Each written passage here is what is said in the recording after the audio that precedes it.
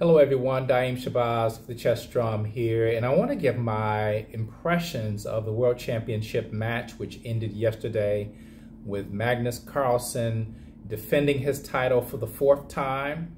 Now he's a five-time world champion, and he actually did a tweet with Kobe Bryant giving the five, uh, holding his hand up indicating five championships and that came up in the press conference, and certainly it became uh, one of one of those that um, people liked, and maybe uh, he got a few extra style points for that. Uh, but be that as it may, he went out certainly in style, winning the match uh, in a very convincing and dominant fashion. As far as Jan Nepomniachtchi, winning the Candidates tournament is no easy task, and he was able to do that.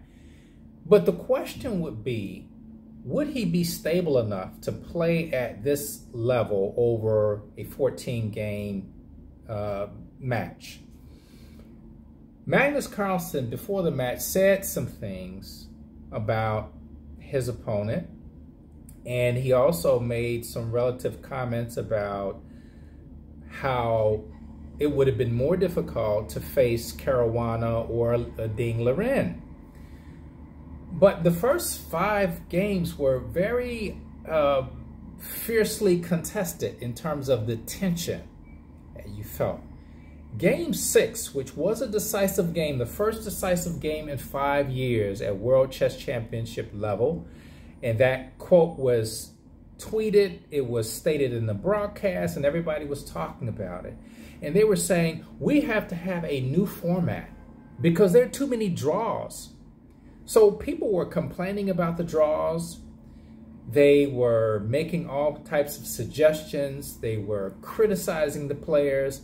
Although the games were very, very tense and very well played, the sixth game broke the streak and not only was decisive, became one of the most historic games in World Championship history by eclipsing the Korchnoi Karpov, which was 124 moves.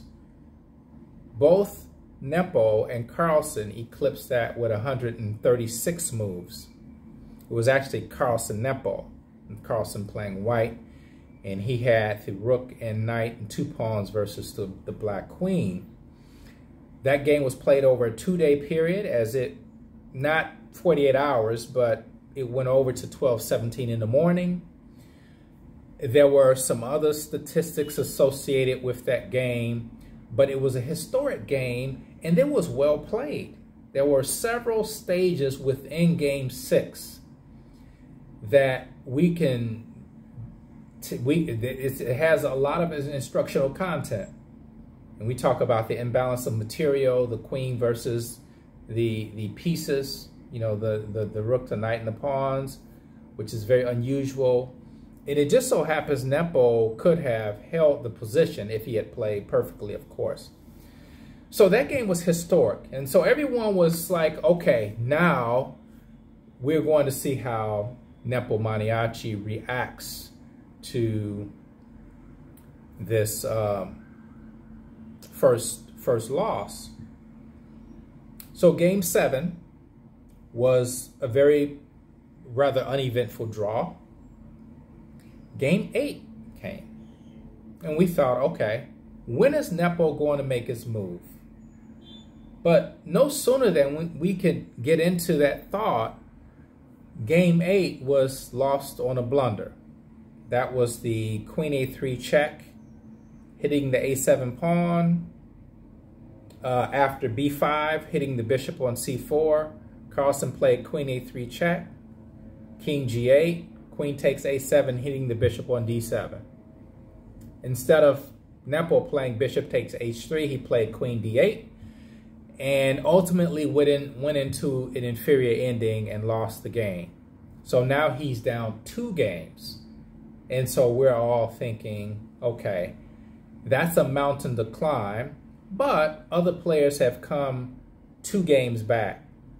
And then, of course, he he had six games where he can try to make up the gap. Still insert, that's, that's a pretty big gap to fill. So then game nine. We come to game nine and we get into a very interesting game where Nepo has actually done well in the opening. But then he makes an inexplicable mistake, mistake of c5. And Carlsen, looking at the position, he looked, and there was a shot of him shaking his head and squinting, like, is this really happening? Then he plays c6, trapping the bishop on b7. Piece is lost. And then the continuation was h3, knight h6, rook e4, and um, but the piece couldn't be saved. It was rook a7, rook to uh, I think rook to b4, and then uh, queen to b8, then wins wins the bishop, and so that was a piece. That was a clear piece. So that's two games in a row. So now he's down three. He's down three games. And I emailed Dirk van Geuzendam of New Chess and asked him, was he coming to the match? And he said, well, I, I was coming, but because of yesterday's result, I've canceled my plans. And so he decided not to make the trip because of that. Now, me personally, I, I was all set to go. I had made all kinds of plans, not only about the trip in Dubai, but I had to make personal arrangements. And so everything was already set up. And so I get here 2.30 in the morning of game 11, 2.30 that morning coming out of Amsterdam. And I get to bed, wake up at 1.30 I think I, you know, I ended up going to bed maybe around, probably around four, four o'clock before I got, got to bed, but I woke up at around 1.30 and so I slept because I wasn't able to sleep on the flight. And then I made my way over to the exhibition center where I saw the uh, expo. I rode the metro, which was interesting. They have different cars. They have one car for women, for, for just women. And it, um, it was an easy ride, seven stops to the exhibition center, and uh, it was quite a spectacle. But I had to go to the South Hall, and, and, and, and the game was already in progress. I had to go get my accreditation, my badge, and so that took some time. And by the time I got there, they were around move 10 or 11 and I was able to see uh, some of the people that I've known. Um, Maurice, who I've known for 30 years, Sagar Shah of Chess India, uh, Mike Klein of Chess.com, all these people I've covered events with. And it, it was um, it was a good environment. It was uh, it was an environment of excitement to see Vishy Anand commentating, and to go into the room, this beautiful room that they've set up with these nice white chairs. Uh, it, there's something very different about being in person. This is my second World Championship, and I've covered six Olympiads. And being here on such a large stage is something that everyone should experience, and I would recommend it. Uh, but, you know, the emotions surrounding the game, being in the press room and, and listening to people talk, their conversations about the game and what they thought was going to happen. They're filing, they're writing their reports, and it's just interesting to, to, to get that those reflections as the games are unfolding. But going to the press conference was also interesting because then you're able to interact with the players directly and get an idea of what they had on their minds now, during the tournament, there were some questions that were completely out of bounds and probably inappropriate. Some of them were not well thought out questions, and some of them were just silly. But in the last press conference, Maurice Ashley extended it because this was the last one, so we wanted to make sure everybody got their questions in. And I asked both players if they thought that perhaps a different format of various disciplines would would be something they would they, they would support.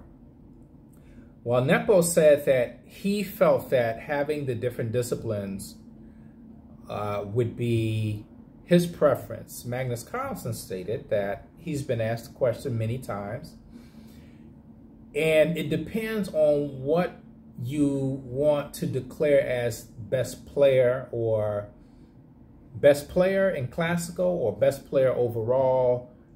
Um, it depends. So,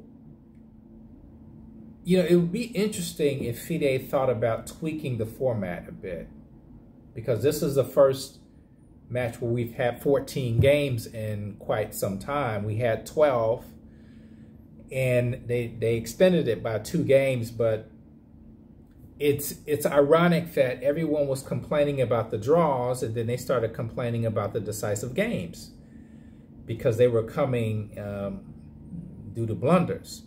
And so you got drought, you have famine on one end, then you had the feast on the other.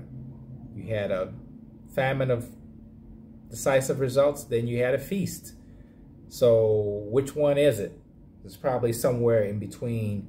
But I think it would be interesting to to look at other disciplines within the format.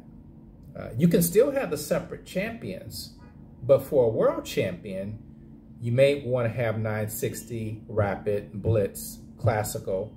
Maybe you can weight them differently. Uh, I don't know, but I think it would certainly make the World Championship match uh, a lot more exciting. It would make it unpredictable.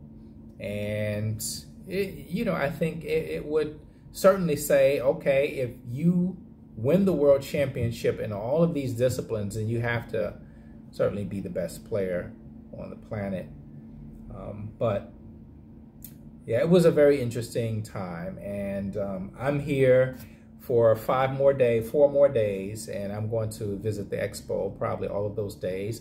And I'm just going to show you, well, my room, first of all, um, the Rove Dubai Marina, but I'm going to give you an idea of what I can see outside my window. So this is the view that I have. I'm not sure what this building is across, but it's very unique. You can see the boating, there's the mall that's across the way. In fact, I'm about to go over there in a few minutes. This is the roadway. And of course, that's the entry to the Rove Dubai Marina. And down the street, there's a beautiful mosque down the street that I passed coming from the metro. And this is it. It's kind of a, an interesting location and very interesting uh, hotel room.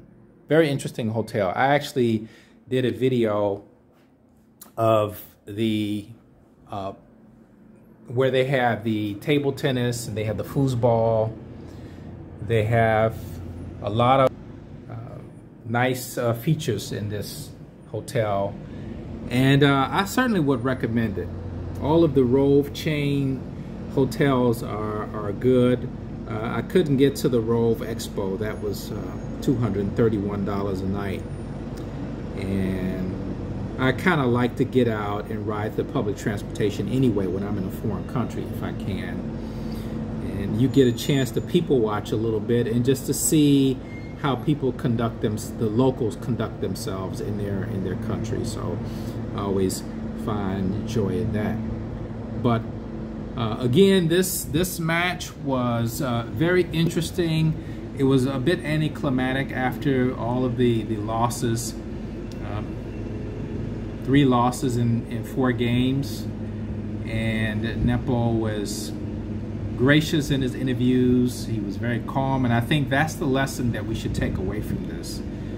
And it will be a lesson for the ages, and that you can lose, but you can still be gracious. You can be calm. You can be even, have an even temperament, even if you're dissatisfied with your performance. Um, you can still have the civility to present yourself as someone who uh, is very, um, you know, this is certainly very open to um, criticism and who does not have these uh, illusions that, you know, it's someone else's fault that they lost. So we're looking forward to the future cycle. A lot has been made about Alireza Firouzja. I think it's too early for that, but he, of course, has already qualified for the candidates. Uh, I believe there have been eight to qualify. Now, throwing Nepomniachtchi in that uh, pool as the vice champion, uh, he will be uh, also in that tournament. So this is this is um, what I wanted to share with you. Uh, I'm going to be doing more reports on the expo. So if you're interested in the expo, I'll have those. Other than that, um, you can follow my reports on the chess drum. I have a world championship report, which is going to be an overall view. And then I'll have a reflections piece, which I always do that covers everything, covers my trip, my travels here through driving from Florida to Atlanta, to Amsterdam, to Dubai, all of my impressions, the things that I experienced, what I saw, uh, and it's usually I have a lot of pictures and videos in it. It's kind of a photo essay. So hopefully you enjoyed this and uh, hopefully you enjoyed the World Championships and um, make sure you follow the Chess Drum and as I always say, keep the beat going. Thank you.